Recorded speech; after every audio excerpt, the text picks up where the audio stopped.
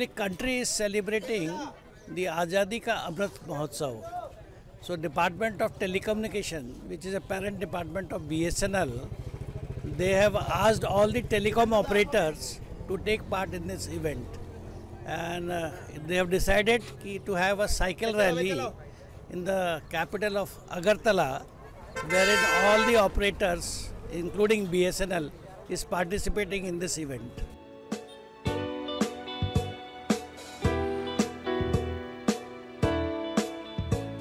As a female cyclist from Agartala Cycloholics, I want to say that um, from few years back till now, the change has uh, recovered in our state too much.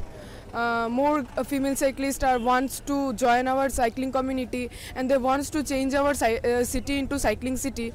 Uh, so I think um, mm, um, beside boys, Uh, more girls wants to join us and wants to make our city a cycling city.